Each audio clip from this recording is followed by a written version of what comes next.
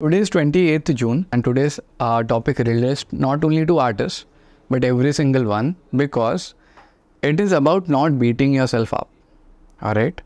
Now, what happens most of the time is whenever we are doing anything, right? And particularly, I'll talk about artists first. Whenever an artist is doing anything, let's just say I'm trying to make an artwork, maybe on Photoshop, maybe graphic designing, maybe painting, maybe a song, anything, right? We want it to reach the highest level. And if it doesn't, then we beat ourselves up.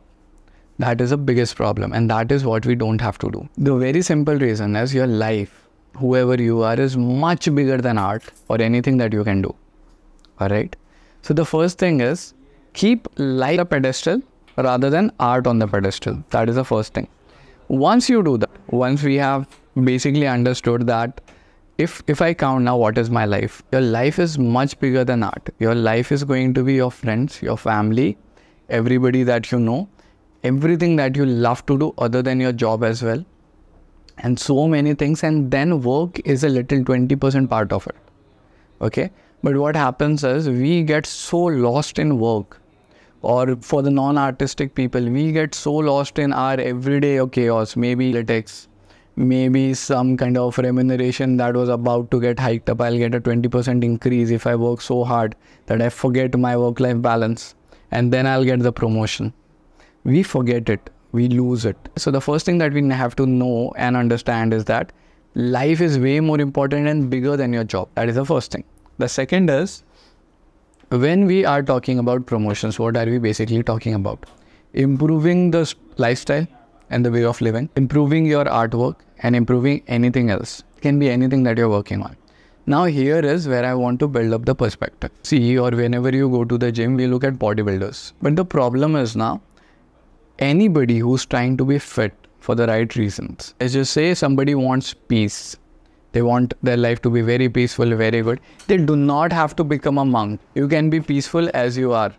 Same way, if you're trying to achieve fitness, you can just achieve fitness. You don't have to become a bodybuilder and have those six pack abs or eight pack abs and just amazing body uh, full of full of steroids or something.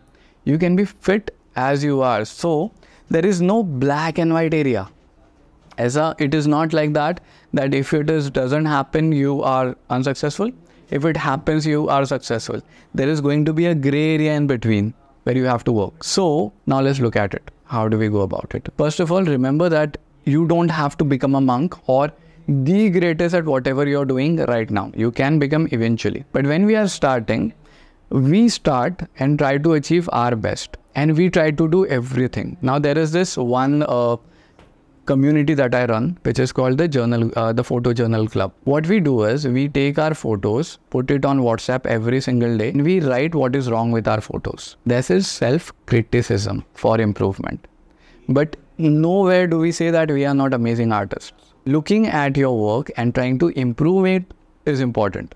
But saying that I am doing bad, yeah, I'm not ever going to be good, this is beating yourself up. You don't have to do it. You have to understand the difference between it. And this is where the sentences and the self talk comes in. There is this topic on TED Talk which says the power of yet. I am I'm not able to do it. That is a sentence, permanent sentence. I am not able to do it yet. Leaves the possibility of something better happening. So my art is not good yet is a better statement.